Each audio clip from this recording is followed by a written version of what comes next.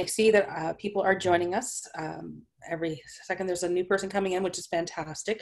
I'm uh, Denise Stockley. I'm the president of the Society for Teaching and Learning Higher Education. And uh, Keep Teaching and these weekly webinars are part of our response as a community uh, to COVID 19 and, and, where people are at. And I'm going to turn the floor to Carolyn just to talk a bit about the panel and about participating in a Zoom.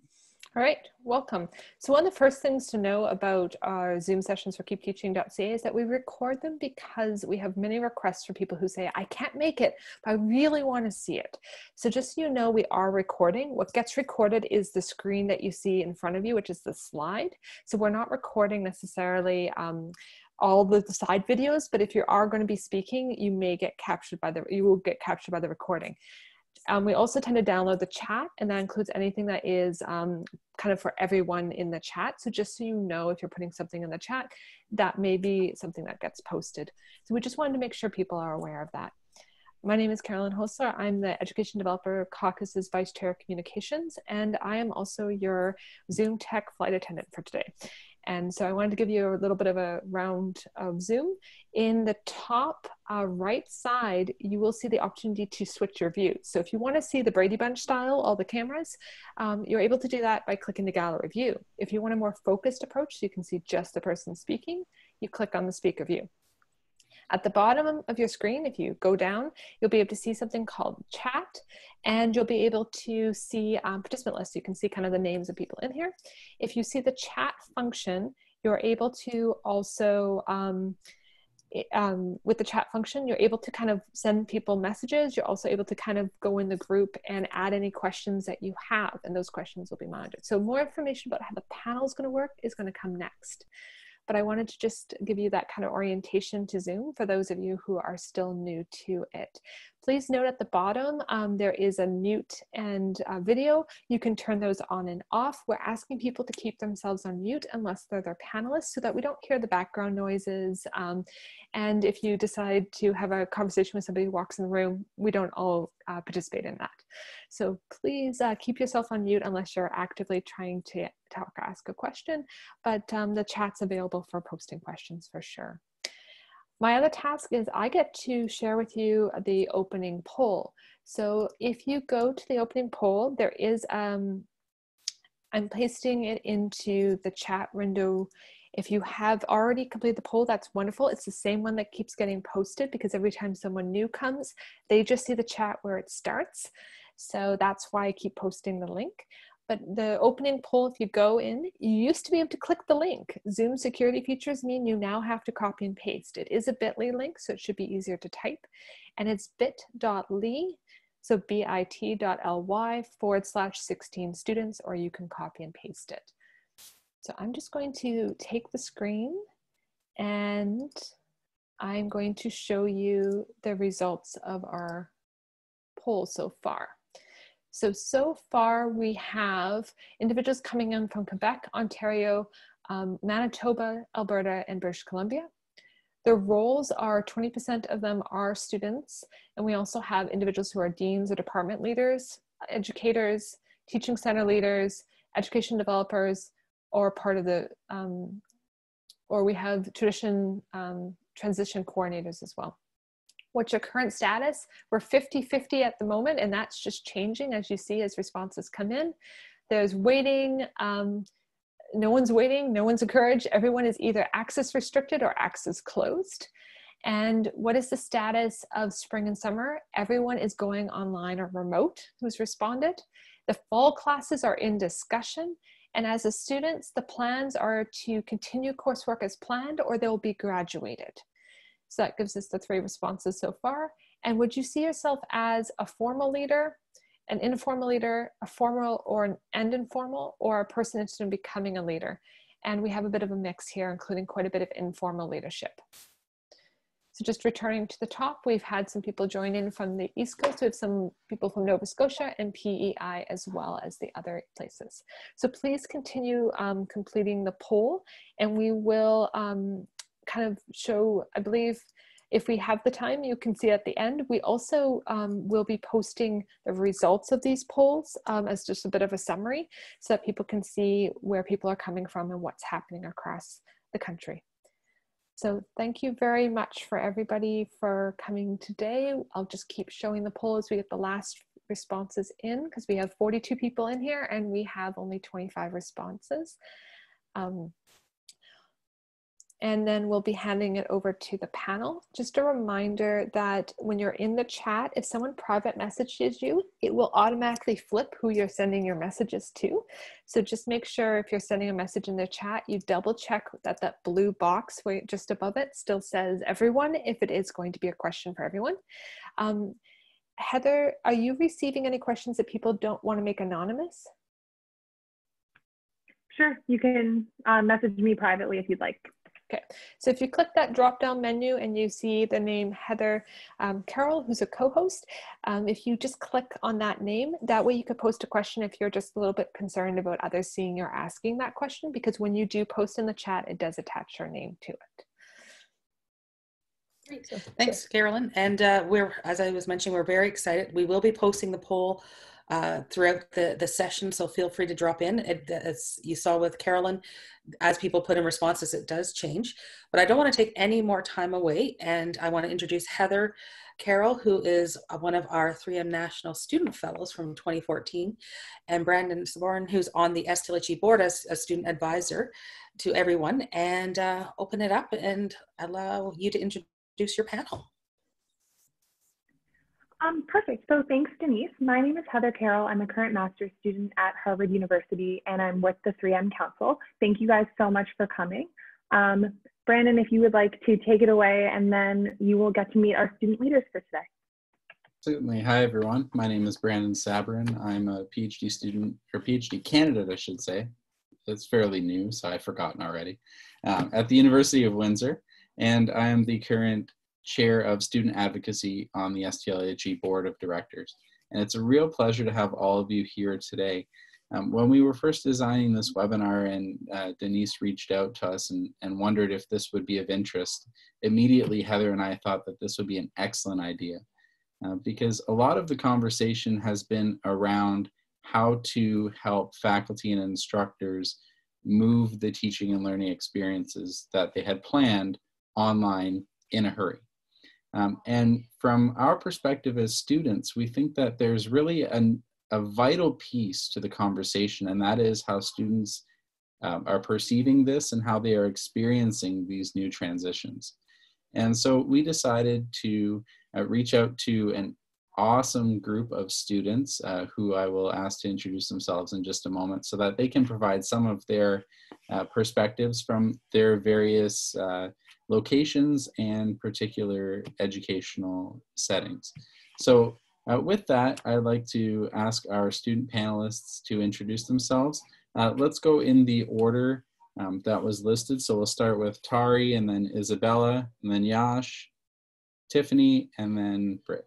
So go ahead, each of you can take your minute here and introduce yourselves to the group.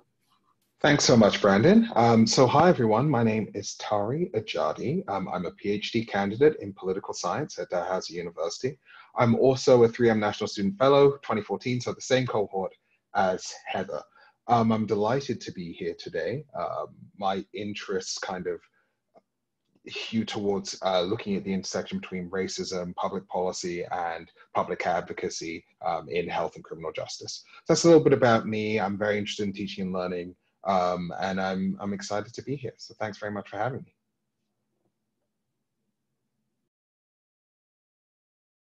Hi, everybody. Uh, my name is Isabella, Isabella Bobby. Um, I am a second year developmental psychology with thesis student um, at the University of Windsor. Um, I actually work with Brandon on uh, research projects um, as a part of my role as an outstanding scholar at the University of Windsor um, which I'm very, very proud of. And I'm very excited to be here today. Thank you so much for having me. And um, I look forward to, um, oh my goodness, I'm so sorry if you can hear all that. Um, I look forward to chatting with all of you about this issue today.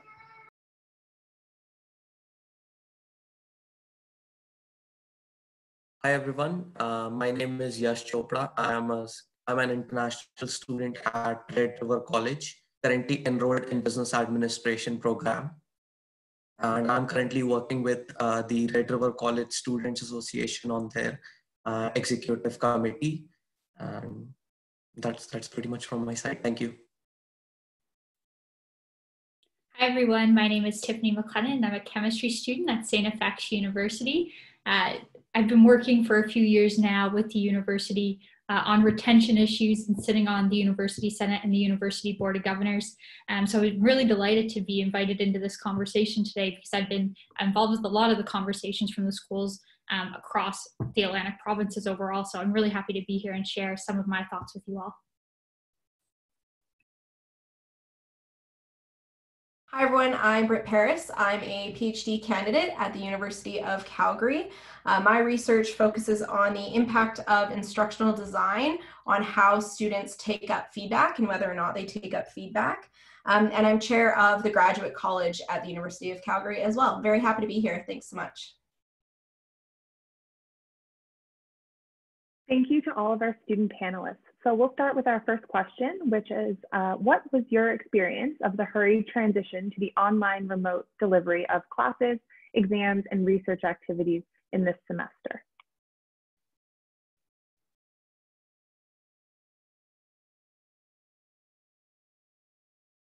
Uh, I suppose I could I could start. So I, you know, as a student, I have to say I did experience a fair amount of confusion um, being in your PhD and, and especially at the stage that I am in um, developing a thesis proposal, on one hand, you would think that it doesn't really affect you, that your research is individual, that, you know, not, not being able to be on campus doesn't really have much of an impact. But um, on the other hand, the ability to engage with people, to engage with my professors, to ask for advice, to access books, all of these things, and of course the kind of worries about uh, issues of whether or not I can access resources, uh, issues of funding, what's going to happen in the future. Those things were all very, very scary.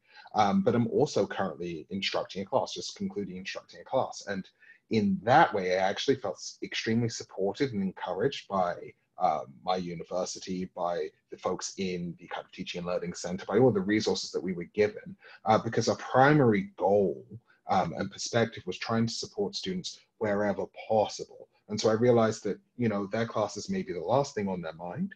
And so the, the, the onus was on providing them with a kind of flexible mode of learning that was navigable in an uncertain time, and also being able to give them as much information as possible. So I thought it was really helpful from that perspective. Thank you, Tari. And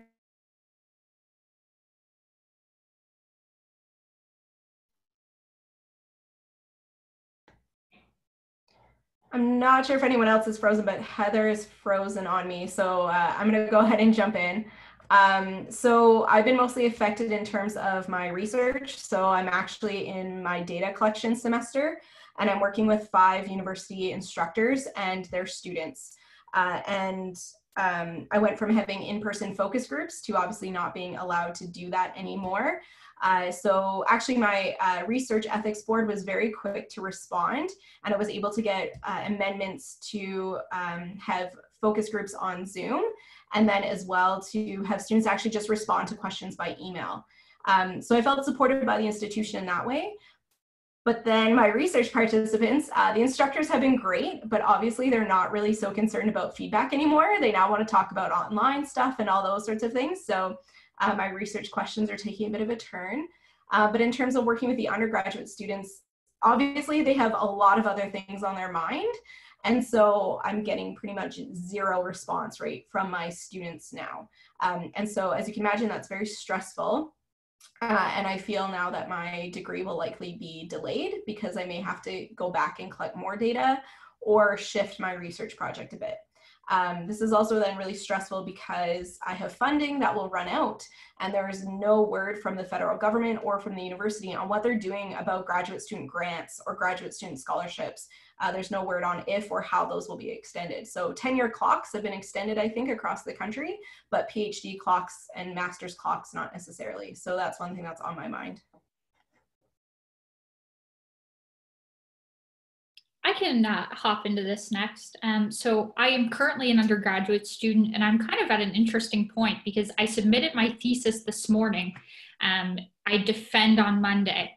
Um, so it's been really interesting because when we had closed the campus, thanks, I see that little clap over there. Um, when when our campus had shut down, I still had things to do. I still had trials to run. I was just finishing up uh, a lot of my research. I was still in the middle um, of writing. And one of the things that I found really hard was that where I couldn't go to the campus anymore, I lost access to almost every single article I was using because I didn't have um, the access that I would if I was using my campus's um, VPN. So that was one of the things that was really a struggle for me in terms of my actual research because there was a lot of things that I was hoping to do that I no longer get to. Um, from a classroom standpoint, um, I'm a chemistry student, so our classes are pretty easy to move online. We do a lot of things, just kind of chalk and talk, um, which is really nice in that regard. A lot of our professors are really quick to learn how to use Zoom. Um, from a student standpoint, though, something that uh, my friends and I had noticed is that we're in Nova Scotia and BC and China, and all of a sudden uh, we have an exam on Friday at 9 a.m. and that's 11 p.m. for one of my friends, and that's 2 a.m. for another one of my friends. So that's one of the things that have really been a challenge.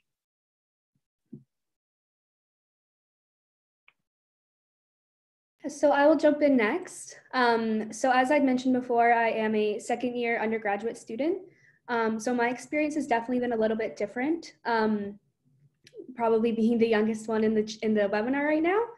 Um, so I've noticed as well, being a um, a social science student, um, that the way that my professors move their lectures is very different. Tiffany, you had mentioned that your professors are very quick to move over to Zoom. Um, almost all of my professors canceled our lectures and um, just posted them online um, which was very difficult because it's hard to teach yourself that kind of material. Um, so that was definitely a challenge. Um, but my research was affected as well because um, Brandon and I usually met every single week to discuss our discuss our progress and what our next steps were going to be for our research. And now we've had to move everything online, which it's, it's been a challenge, definitely um, but stuff has definitely been pushed back. We had planned to do a lot more research. We plan to um, do our own project and actually conduct um, surveys and write our own um, paper. And now we've had to move that into a SLR, a systematic literature review, because we don't have the option to um, interview students. So that all of that has been a struggle, but we are we are getting through it.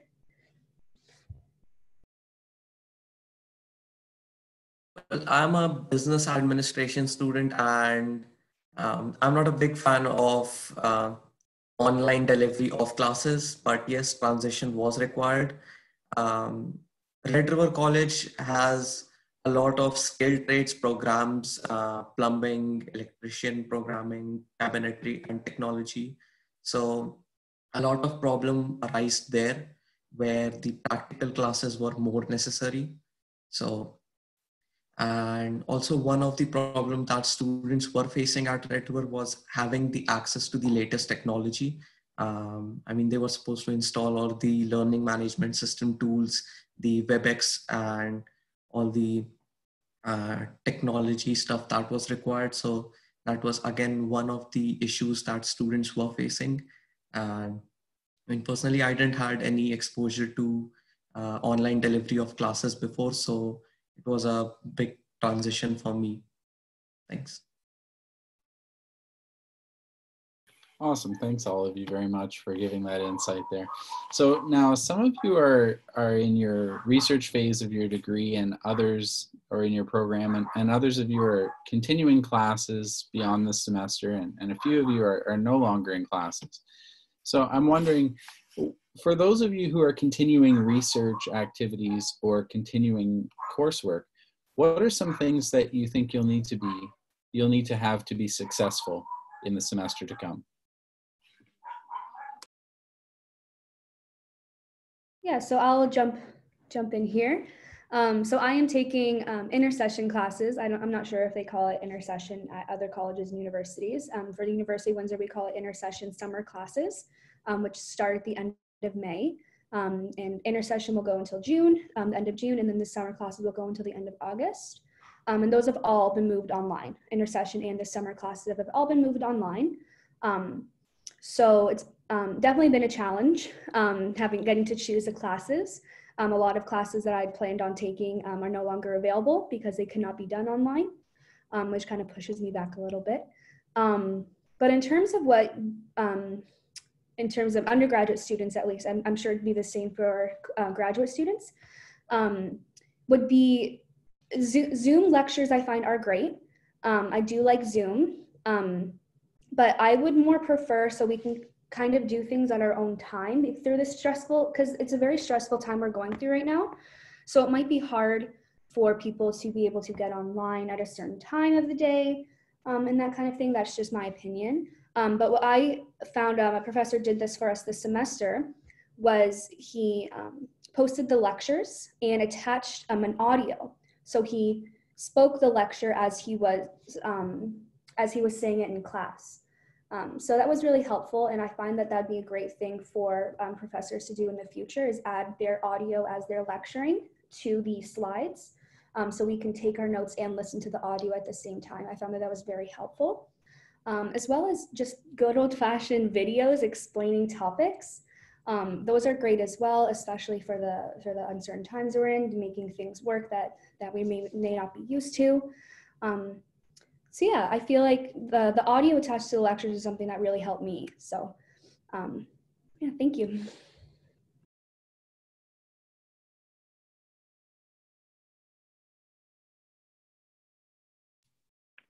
Would anyone else like to take a stab at this question?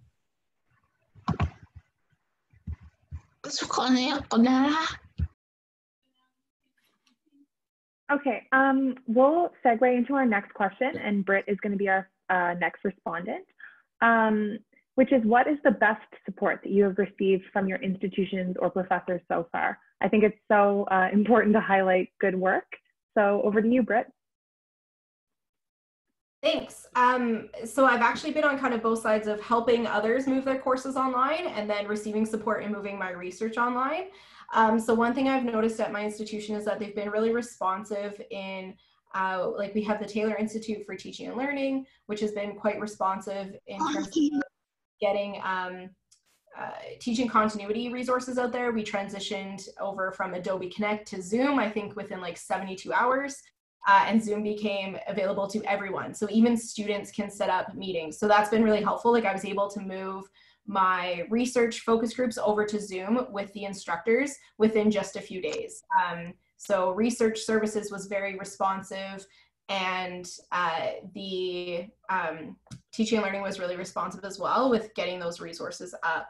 Uh, and then I've actually also been able to um, uh, pick up some work, which is good in uh, helping instructors move their courses online. So I'm working with our School of Public Policy to do that, and also with the Taylor Institute to move our um, teaching and learning certificate for academic staff online. Um, so it's just kind of a happy um, uh, coincidence that I have experience in online teaching and learning, so I was able to, to help out with that. So um, there's some things I wish they were uh, a bit more supportive in. Um, I think I, am trying to be also compassionate for my supervisors uh, and not, not, try to, to push um, for things too quickly. Um, but they have been very, very responsive when I needed the research um, amendments done to my ethics application and things like that. Perfect. Um, I think Tari wanted to speak about supervisors as well, and then we can pass it over to Yash. Hi, yeah. So um, my supervisor's been really supportive actually uh, during this process. You know, uh, she touched base pretty early on, um, asked me if I needed anything as a person, right? Like asked if I needed any groceries dropped off. Um, we've since been in touch pretty consistently. Um, you know, the deadlines that we um, that we had set for, for example, a draft of my thesis proposal to be submitted, we've all we, we, we've come to a kind of understanding a conclusion that hey, maybe those need to be extended because productivity isn't going to be the same, and that in fact just being able to kind of cope in this time um, is something that we really need. And I think that you know I'm really lucky to have that kind of support currently, but I know there's a lot of folks that don't, right? And and I think that what universities often do is for grad students, they outsource a lot of the kind of work that would be done by kind of student um, advising and student success centers um, for undergraduates to supervisors in graduate school. And what ends up happening is that then you have this very kind of tenuous relationship where for some people, maybe that you're getting the support you need, but for others, maybe you're not getting that support at all. And so I think that, you know, there might need to be a way to kind of standardize that level of support and resources um, for as many people as possible, um, regardless of the supervisors that they have.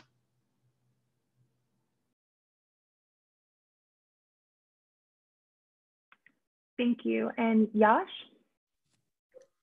Yes, moving to the support received by institution and professors. Um, uh, one of the biggest support that we received was the uh, the PowerPoint voiceovers, uh, as mentioned by Bella. I guess uh, the uh, instructors did the voiceover on the PowerPoints, like the uh, the way they deliver the lectures in the class, and it was really helpful. And also uh, for example, in accounting.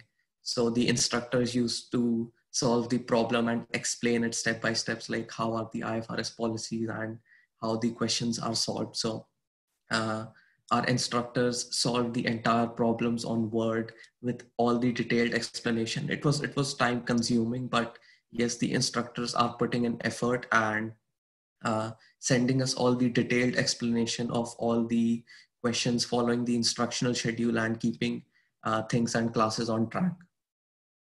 Thank you. Perfect. And our last comment on this question goes to Tiffany. Yeah, so I've had a few really great supports from my institution actually. So one of the first ones was that my thesis deadline got pushed back a week, which was more than needed. Um, I expected to be able to be as productive um, as I was. It definitely wasn't the case. Um, but another thing that and maybe it wasn't so much on the teaching and learning side, but from the institution overall, was that our institution, uh, so I'm at St. FX University, went above and beyond and actually financially supporting their students. So I'm a first generation student from a low income background who did lose their job because of what is going on. Um, so one of the things that comes from that is that I didn't quite fall under CERB funding, didn't quite fall under any of these bodies of funding that are floating around. Um, but our university really stepped up and went to our alumni right away and said, look, we have hundreds of students who are currently in need. Uh, and they were able to raise a lot of money really quickly. So little things like being able to stay in my apartment in Antigonish for an extra month. Yep, did that stop? Okay. Uh, Sorry, continue, Tiff. Yeah, and just having that ability to be able to stay and having some funding from the university um, just to be able to meet my needs, but then knowing from some of my friends who are really financially struggling, uh, that was some of the best supports that they had received.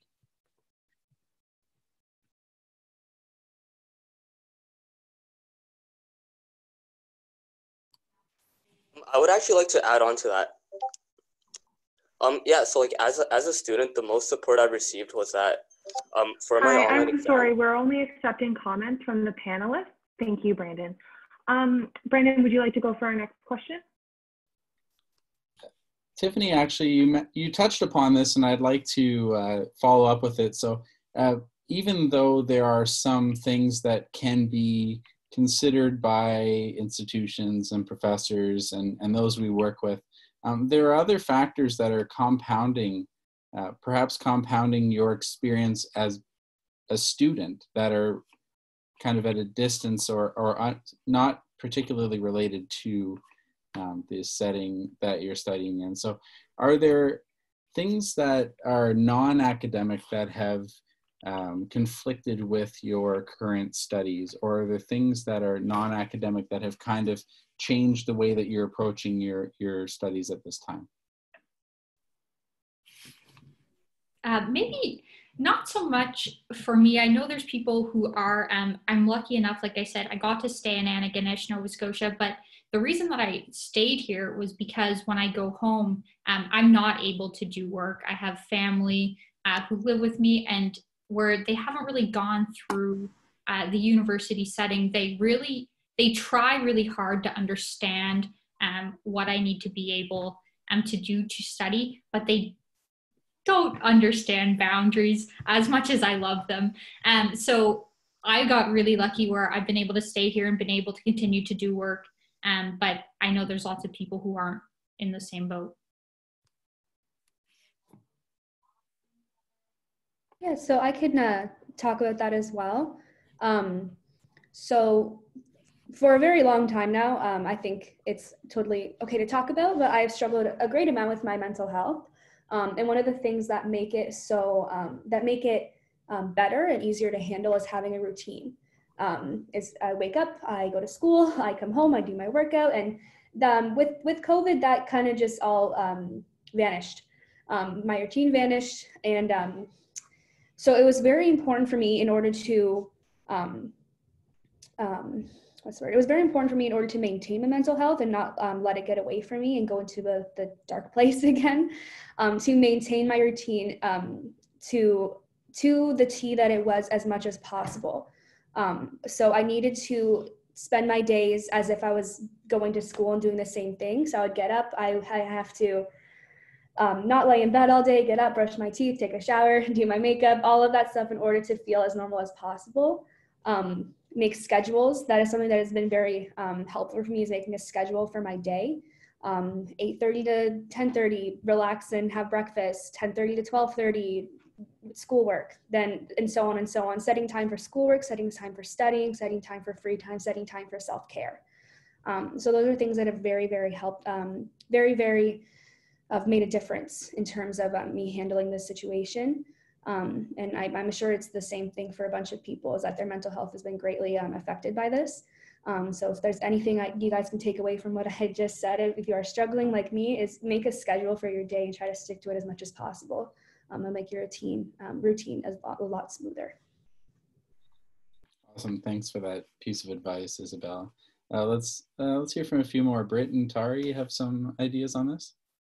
Yeah, I'll, I'll jump in. Um, I agree. Like a lot of what Bella and Tiffany said, I've actually never been good at routine ever. I've tried my entire life to be better at routines, and then um, this has made it made it worse. Um, the first three weeks, I think, was just I was in anxiety spirals and depression spirals about what does this mean for everything, um, my life, not just school. Um, and so talking to others really helped that because it was really nice to know I wasn't alone. And actually being on Twitter helped with that because I can see, okay, per, like tenured professors feel this way, undergrads feel this way, grad students feel this way. It's not just me. Um, so I learned to kind of forgive myself a bit. And then instead of using a, a schedule, I um, instead have like a priority list of what I need to get done each day. And that's helped because um, I have family at home who who want my time and attention too, and also thinking of well, you're home. Doesn't that mean you're available? And well, no, that doesn't mean I'm available. Um, and so trying to create more boundaries, which I've never been good at in the first place. And then as well with some of like the volunteer stuff that I've been doing. So I mentioned I'm chair of the graduate college, which is similar to Massey College and, and Green College at UBC and U of T. Um, and we're trying to create community for our scholars as well. And so some of that just can easily eat up a whole day.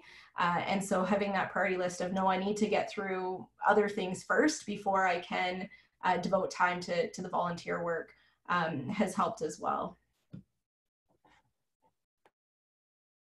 Yeah, so I, I'd love to hop in after that, and thanks so much, Britt, because I think you you've set it up perfectly. For me, there's been so many different kind of divergent tracks to to kind of pull me off of where I'd like to be. So um, I work on the side of my studies, not only um, as an instructor, but I also work for Statistics Canada. So I've got a contract to fulfill on that end. That takes a lot of my time. I also um, do quite a lot of community advocacy work, and especially in these times, given um, the the kind of drastic inequities that COVID nineteen is exposing, um, that's consumed a lot of my time and a lot of my emotional energy as well.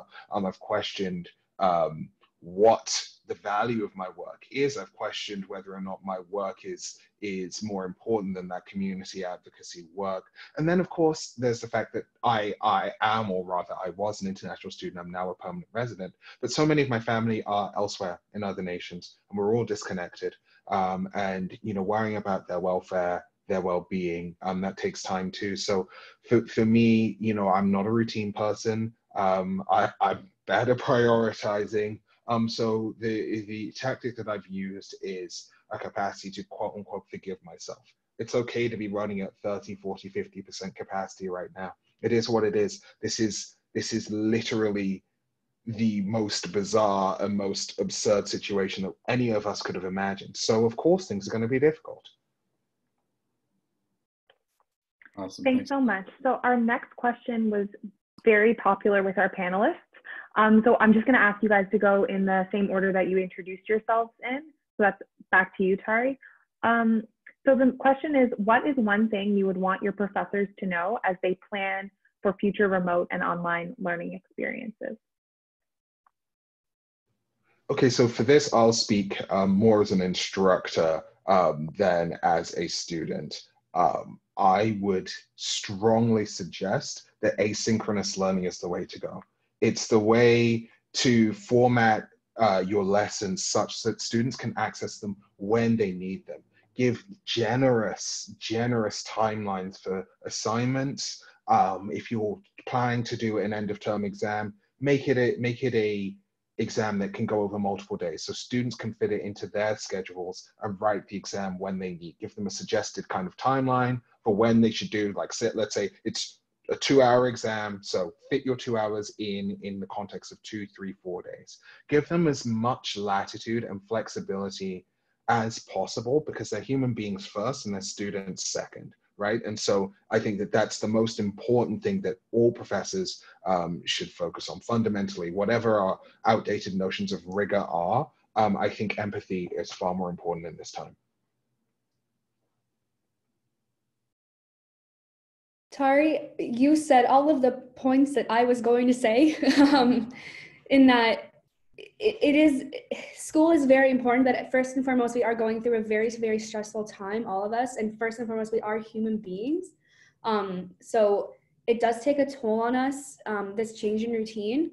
Um, so the the um, being compassionate towards that like for like as an instructor being compassionate that your students are struggling um, with this is is the main thing um, for first year students they have just gotten used to the transition from high school to university um, second year students, we've been doing second, third, and fourth year students, we've been doing this a very long time. Grad school students, so we're used to things a certain way. And now everything is just kind of flipped around and we have to start all over again. It's learning the system all over again. Um, so that is something that um, instructors need to take into consideration when planning um, um syllabus um, in planning weightings of, um, of assignments and final exams um, deadlines. So those are things that I think are very important to kind of be relaxed a little bit, um, weigh things less, um, uh, make the timelines um, more flexible, all that kind of thing. So Tari really did hit it on the nose there, everything that I wanted to say. So thank you for that. And uh, thank you for listening to uh, my version of his uh, explanation. Yes, um, a major point that was covered was um, regarding the quiz and exam timings.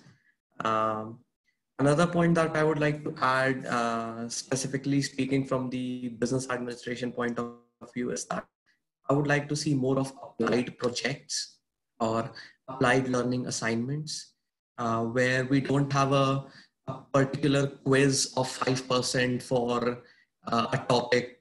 For example, copyright and um, copyright registration assignment like copyright registration maybe we can have had an assignment instead of a quiz of the chapter where the students are supposed to download the copyright application form from the government website fill it out in and more of applied learning techniques and again yes one of the major point was the quiz timing so uh, providing flexibility on the quiz and exam schedules would definitely be a very nice option. I mean, my final exams are scheduled for April last week, so uh, that would definitely help me a lot. And yep, um, applied learning projects, that would be my major point. Thanks.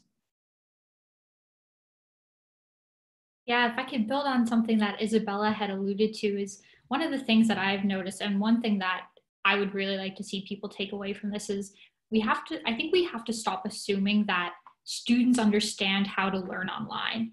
Because people just kind of make the assumption, oh, we're all tech savvy, you know, we all live on our phones. That definitely doesn't correlate to being able to learn online. And I know from uh, talking to a lot of first year students in particular that that's something that they've been really struggling with is that these students are just being, here's this online platform, but aren't really being adequately supported and how do you take this and do something with it? A lot of the support is more on the professor side on how do you get a course up and running and maybe less so on the how do we actually prep our students to learn online. Um, so I think kind of moving forward, if I would to pick one thing that could use a little bit of focus, I think that would be it. I have a lot to say on this topic, but I'm going to try to stick to one thing. Um, I would say uh, also be be patient and gracious with yourself. Um, good is good enough. I've been working with some instructors who are spending time pre-recording their lectures and then so they can have more discussion based Zoom sessions. And uh, what I've been hearing is they're spending three, four, five hours to record a 50 minute lecture because they want to get it perfect. And I think um, really you just have to accept that good is good enough. And if it's out there, it's good enough. And it's much better to spend that time responding to student emails or in synchronous sessions uh, or office hours with students communicating. Spend that time on communication uh, versus trying to get the perfect pre-recorded lecture um, and, and be gracious with yourself in order to do that. Awesome. Thanks a lot, everybody. Some of those points that you've talked about are points that have been discussed in other webinars uh, in this series. And um, from a slightly different perspective, though, I think it's important to hear how students are uh, receiving the actions that are that are happening with uh, with our instructors and our educational developers. Uh, we do have a number of other students here in the webinar, and so I'm wondering the, from the panel, um, could each of you perhaps provide one tip or strategy that you would give to other students to be successful during an uncertain time such as this?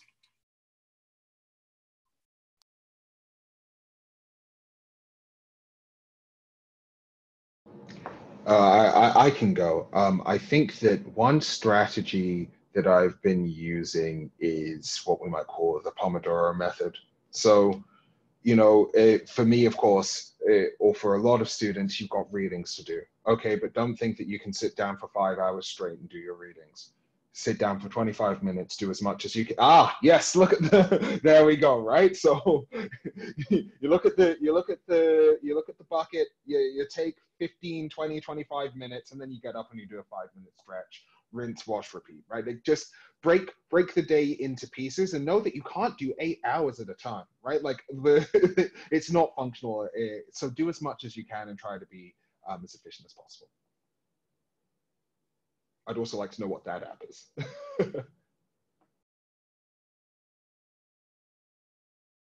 I can jump on next. Um, so um, and additionally, I had mentioned earlier um, creating a schedule for your day.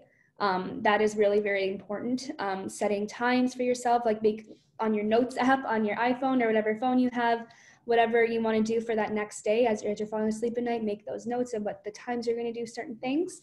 Um, but other than that, I think that um, just because we're, we're not getting up and going to work or school in the morning anymore doesn't mean that we can be staying up until the crack of dawn and then sleeping until 3 4 5 p.m um, have to admit that i did do that the first week um, of quarantine but definitely getting back onto that routine setting your, your sleep schedules better um, is going to change your entire mood the way that you're sleeping you're going to, to going to bed when the sun goes down getting up when it comes up not the other way around. Um, that's going to make a huge difference in your mental health, your physical health, how you feel throughout the day, um, your eating habits. The way that you sleep is going to to be the uh, the determining factor of how um, you are spending this quarantine, how you're managing, in my opinion.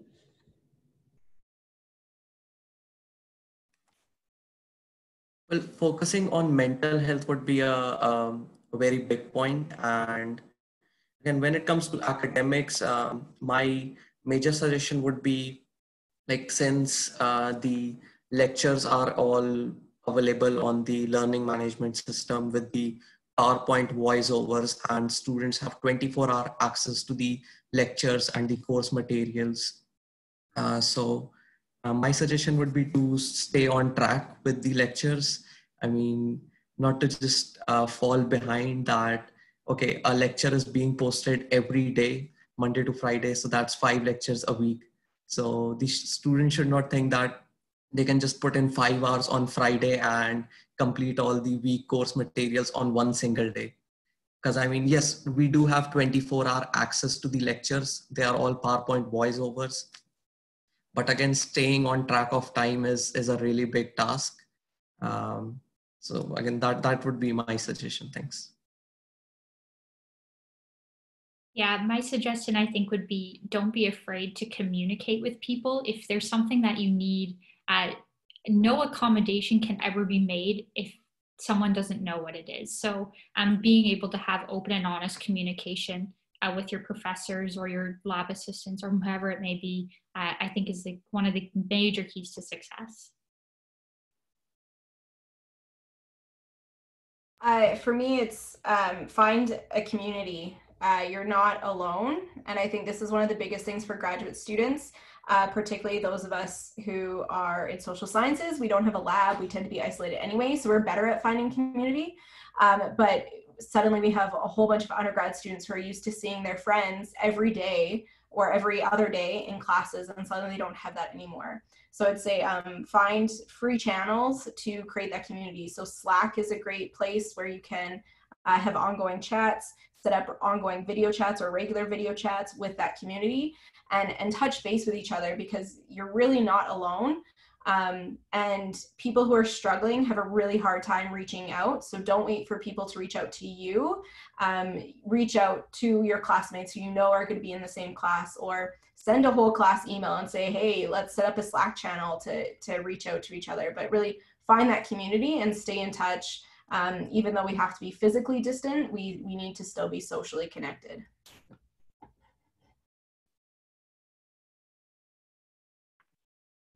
Perfect. Um, so now we're just going to open it up to questions from the audience. Um, if you would like, you can message in the chat. Uh, make sure you're setting a send to everyone if you would like it to be a public question. If not, you can definitely message me directly and I have no problem um, anonymizing your question for you. I noticed that we did have one come in earlier from Gail, and I'm just going to open this up to any of the student panelists who would like to respond. Uh, she's curious to know if or how online exams have been managed um, especially accommodated exams. Um, so feel free to take this question on.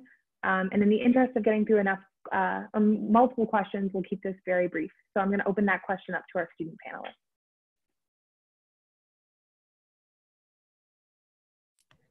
I can uh, jump on this really quickly. Um, for the social sciences, at least, um, I can't speak to other departments, um, but for us, um, my professors made a lot of our exams um, optional um, which I greatly appreciated. Um, we could have taken the option for a grade freeze. Um, a lot of my um, classes also offered um, um, short papers in, in I don't know what the word is, but in, in place of the final exam. One of my finals, instead of being made multiple choice, was made all like essay questions and then short answers that we could have completed before we had about five days to um, complete them, and then we could submit them on the actual exam day. Um, so that was really great. And then another um, one of my classes was um, multiple choice as well, um, 90 multiple choice. So we had 24 hours to complete it, um, which was really helpful. So I'm not sure if that answers your question, but that was my experience with my program.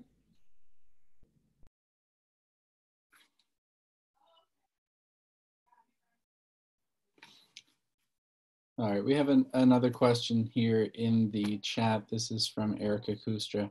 Uh, she's wondering if any of you on the panel might might know how we could help first year students. So I know that none of you are first year students, but uh, if there are any first year students incoming in the fall, how we can help them to uh, navigate these uncharted waters that we're still trying to figure out ourselves.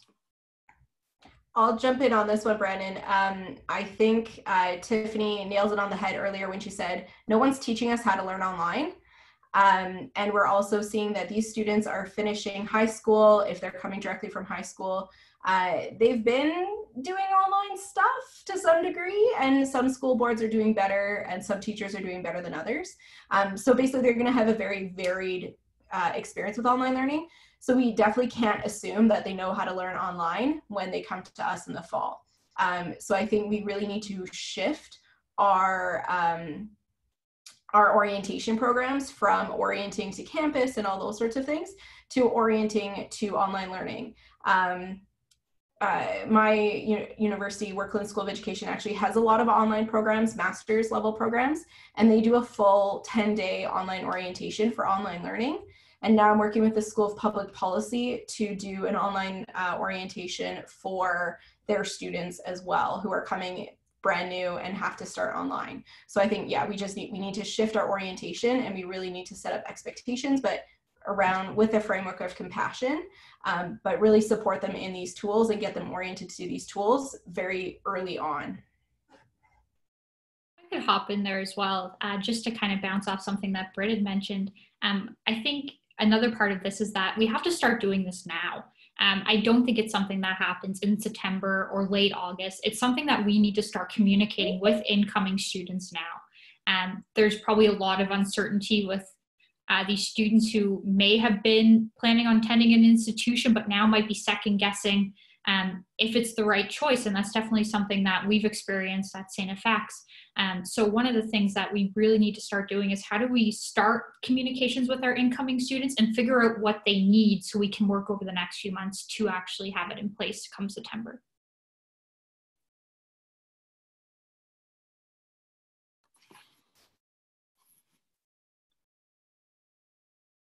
Awesome, thanks so much. I just invite anyone else who's in the webinar here, if you have another question, feel welcome to type it in the chat, either in the public chat or to Heather directly. Are there any other comments that the panelists would like to make at this point? I, am conscious of time and seeing we have about five minutes left. Um, just wondering if there are any final thoughts that you'd like to um, Brandon, one just appeared in the chat. Oh, yes. Um, beyond Zoom, are there any other platforms you've been using? And if so, have you found them more or less easy to learn than Zoom? Um, so any student panelists, Tari, I think I saw you raise your hand. Yeah, so um, I've, I, I think at Dal, um, the onus is on using Teams um, quite a bit. And I, I've, I found it to be relatively mixed. I think that they're trying to mix in kind of a, a Slack kind of model along with video chatting. I'm not sure that it does anything fantastically. I don't know how it works with more than four or five uh, people in there. That's the most that I've I've seen in there. But it seemed to be pretty good, and you can kind of drop in files there. So maybe you wouldn't use it for a class format overall, but maybe you'd use it for group work, for example. I could certainly see that. Um, so I, I, have a bit of experience with Microsoft Teams and I thought it was quite decent. Um, nothing else apart from that. Um, over here, I've been using Zoom, Teams, BlueJeans, and one that I don't even know the name of, uh, and Skype. Um, I can tell you right now, it's been a disaster. Um, if I would say, I would love for institutions just to pick one um, and go with it because there's things that we're running into now where it's oh, well, I thought we were supposed to be meeting. Oh, well, I forgot what platform we're meeting on. So it's been really confusing trying to navigate five different platforms at once. Definitely. I think that you bring up a good point, Tiffany, there with with the move to online learning, I, I feel as though some instructors um, are under the impression that they need to have the latest and greatest technologies. And you know, one of the, one of the tips that has been promoted in numerous documents I've seen is you know just to keep it simple and and not overload students with new tools and yeah five is a lot definitely a lot um, we have a question from Erica. Um, we've been asked about expectations about enrollment. Have you heard any rumors about students' plans for enrollment changing? I guess this would be uh, an anecdotal of it, or an anecdotal question from our student panelists. Um, anyone? I just commented, I think um, check out your institution subreddits Uh, that's actually where I'm seeing a fair bit of chatter about this. Um, and actually, there was a question posed by one of the students, like, who's planning on on um, taking time off? Who's planning on sticking around? And there's some good chatter happening there. Um, so I think it is something students are are considering and thinking about, but it's really hard to know any numbers based off of that. But I think um, going onto your on your institution subreddit will give you an idea of the conversations that are happening. I'd also say that, especially for graduate students, um, you know, you've got offers of there's going to be folks with offers of admission whose funding timelines may be whose funding may be tenuous, and of course, especially if they are potentially international students, um, I can only imagine the kind of anxiety that that might bring. So I, you know, that's not to say what is or isn't happening at Dalhousie. I'm not, I'm not really sure, but it is to say that like these are things to be thinking about um, in a major way. That that funding is uh, a real concern. Okay, so we have one last question here and then we'll wrap up.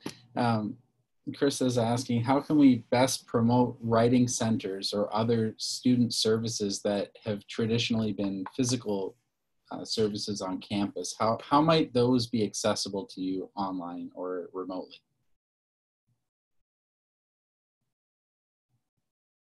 Any thoughts for the panel? So um, at our university, the University of Windsor, um, we have something called our um, writing support desk, um, which is a free service that students um, have access to. It's pretty much like grammar and paragraph um, editing and stuff like that. And um, I know that they actually have their own social media that they promote on and um, you can contact them through email. I've been getting emails from them every few days um, promoting that they're having um, Zoom sessions about formatting for citations, APA Chicago, MLA, and all that kind of stuff. And they promote this on their social media as well for incoming students and potential students.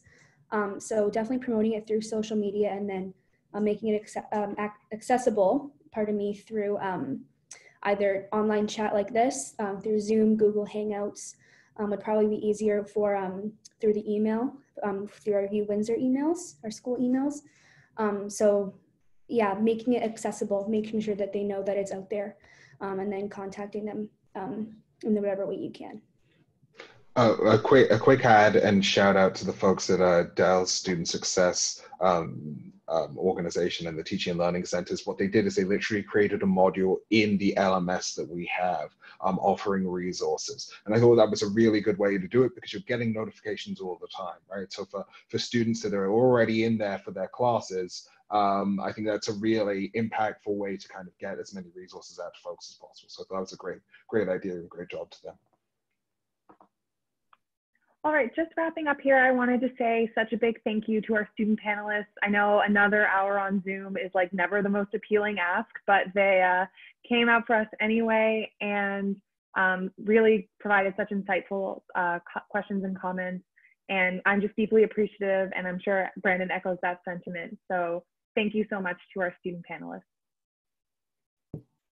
And thank you all of you for attending this webinar. It's um, it's been really really nice to see the the turnout today and and hear some of the student experiences. I think that uh, those are these are some of the many voices we need to consider as we're um, as we're planning, you know, not just our classes but our our institutional operations going forward as well um, in this particular time of COVID and in other times, right?